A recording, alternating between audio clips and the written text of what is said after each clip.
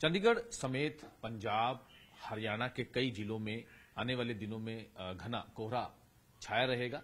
हालाँकि लगातार मौसम विभाग की तरफ़ से भी अलर्ट जारी किया गया है। लोगों को भी सावधानियाँ बरतने की बात की जा रही है, क्योंकि कोहरे की वजह से जो विजिबिलिटी है बिल्कुल ज़ीरो है, जिसकी वजह से कई एक्सीडेंट्स जो हैं वो सामने आ रहे हैं। और बहुत ही सावधानी बरतने की जो वो बात की गई है, क्योंकि चंडीगढ़ की अगर हम बात करें, चंडीगढ़ के कई साथ साथ जो पंजाब के कई ज़िले हैं, हरियाणा के कई ज़िले हैं, वहाँ पर काफ़ी कोहरा जो है वो देखने को मिल रहा है। हमारे साथ सीनियर अधिकारी हैं मौसम विभाग के, एके सिंह जी हैं, उनसे भी बातचीत करेंगे, लेकिन कई चीज़ों में। लेकिन सर जिस तरह से जो विजिबिलिटी है, जो काफ़ी जिलों में आपने अलर्ट भी जारी किया गया है, किस तरह से देखते हैं और कैसे जो है वो आने वाले दिनों में रहने वाला है? और आप जैसे मैप के थ्रू भी बता रहे हैं।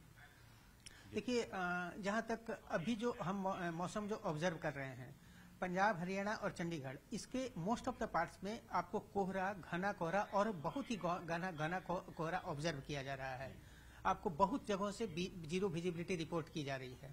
तो ऐसा मौसम जो है अगले तीन चार दिनों तक कंटिन्यू रहने वाला है। और जहाँ तक ये वार्निंग की बात है आज के लिए हमने रेड वार्निंग दी हुई है पूरे पंजाब हरियाणा और चंडीगढ़ में।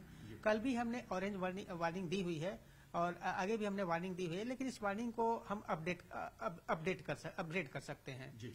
तो लोगों को आपको कोहरे घने कोहरे और बहुत घने कोहरे के लिए तैयार होना चाहिए। उनको तैयार होना चाहिए कि आपको बहुत सारे पार्ट्स में ज़ीरो विजिबिलिटी दृश्यता ज़ीरो भी हो सकती है। हो सकती है। सर ये मैप के थ्रू ये जो समझाने की कोशिश कर रही है रेड जो है वो रेड अलर्ट है अलग हाँ, अलग हाँ बिल्कुल। आप ये देख सकते हैं ये पंजाब का पार्ट हो गया ये हरियाणा का पार्ट हो गया और ये यूपी का पार्ट हो गया और ये जो पार्ट हो गया आपको राजस्थान का पार्ट हो गया।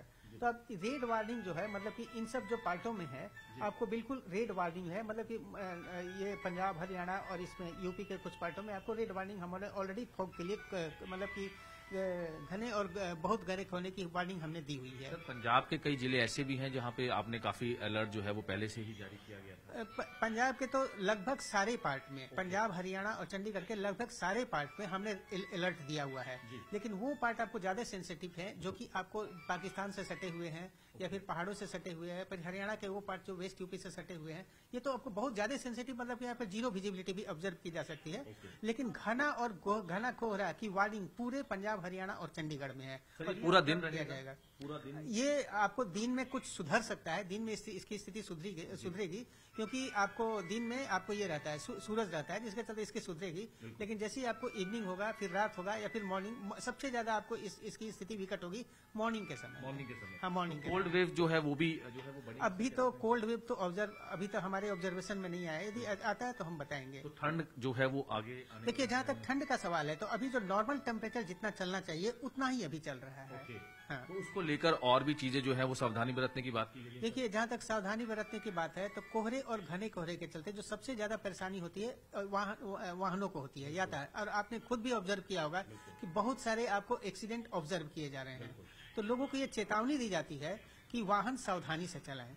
और यदि आपको आवश्यकता नहीं है तो फिर वाहन चलाने की ज़रूरत नहीं है। यदि वो हाँ पेडलर्स हैं यदि आपको पैदल भी चल रहे हैं तो काफ़ी सावधानी बरतें क्योंकि अब कहीं कहीं बिलो ज़ीरो विजिबिलिटी करते हैं तुरंत तुरंत एक्सीडेंट हो सकता है। ये बहुत ज़रूरी है कि हाँ। सावधानी जो है वो हाँ बिल्कुल आपको पेडलर्स को भी सावधानी बरतनी पड़ेगी। इसके साथ ही लोगों को जन जन जन को भी इस बात का ध्यान रखना पड़ेगा। लोग आजकल हेल्थ काफ़ी कॉन्शियस है मॉर्निंग वॉक करते हैं ओपन में जाके एक्सरसाइज करते हैं। आज के सीज़न में इसको अवॉइड करें तो ज़्यादा अच्छा रहेगा। क्योंकि अभी हेजार्डस हो गया कोल्ड के फॉग सीज़न में आपको बाहर जाकर एक्सरसाइज करना है, फिर घूमना, आपको हैजार्डस होता है। इससे सावधानी बरतें। ये बहुत ज़रूरी है, जैसे सर ने बताया, और जैसे पूरा ये रेड अलर्ट जो है वो जारी किया गया है, और इसमें बहुत ही ध्यान रखने वाली बात है कि जैसे जो गाड़ियाँ रोड्स पर चल रही हैं या फिर जो पेडलर्स हैं वो चल रहे हैं, उनके लिए, क्योंकि कई एक्सीडेंट जो है सामने आ रहे हैं, और पूरा जैसे रेड अलर्ट जारी किया गया है वेदर डिपार्टमेंट की तरफ़ से, और आने वाले चार से पाँच दिनों में इस तरह का मौसम रहने वाला है, खास तौर पर सुबह अर्ली मॉर्निंग और रात के समय जो है वो काफ़ी ज़्यादा ज़ीरो विजिबिलिटी